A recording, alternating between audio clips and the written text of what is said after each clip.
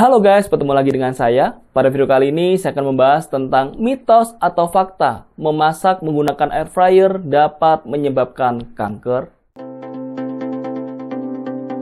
Peningkatan penggunaan air fryer di tengah kenaikan harga minyak goreng tentu menjadi sebuah solusi bagi para pecinta olahan gorengan. Bagaimana tidak? Di dalam penggunaan air fryer, kita dapat memasak dan juga dapat menggoreng tanpa menggunakan minyak dan hasilnya hampir sama bahkan sama persis seperti ketika kita menggoreng dengan menggunakan minyak goreng. Tetapi di lapangan ternyata ada temuan bahwa ternyata menggunakan air fryer dapat menyebabkan kanker. Dan bagaimana jika dibandingkan dengan penggunaan minyak goreng seperti biasa? Jika tolak ukur yang digunakan adalah dampak buruk akibat konsumsi minyak secara berlebih, misalnya kadar kolesterol jenis LDL, tentu penggunaan air fryer jauh lebih unggul dibandingkan metode memasak menggunakan minyak, apalagi deep fry.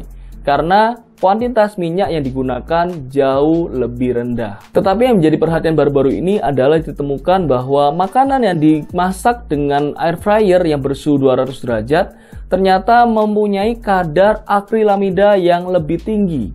Nah, kadar akrilamida ini adalah senyawa karsinogen, yaitu senyawa yang dapat memicu kanker apabila dikonsumsi dalam jangka waktu tertentu. Akrilamida ini terbentuk ketika makanan yang mengandung asam amino atau gula dipanaskan pada suhu tinggi atau di atas 120 derajat. Nah, yang perlu kita ketahui juga bahwa ketika kita memasak makanan dengan suhu yang tinggi dan juga dengan durasi yang lama, itu juga akan meningkatkan kadar akrilamida tidak peduli bagaimana cara kita memasaknya. Mau itu dibakar, mau itu pakai air fryer maupun pakai minyak goreng.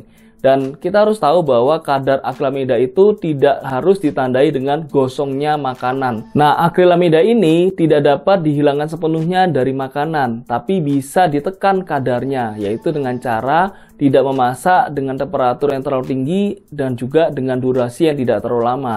Jadi misalnya kita memasak mau pakai air fryer atau misalnya digoreng atau dipanggang, usahakan kita jangan terlalu lama dan juga jangan sampai jadinya gosong ya. Jadi misalnya sudah warna kekuningan atau warna keemasan sudah langsung diangkat supaya kadar akrilamidanya itu tidak terlalu tinggi. Semoga informasi ini dapat berguna bagi teman-teman dan juga teman-teman dapat menjaga kesehatan dan jangan sampai makanan kita mengandung terlalu tinggi kadar akrilamidanya. Oke, sampai ketemu lagi dalam video selanjutnya. Bye.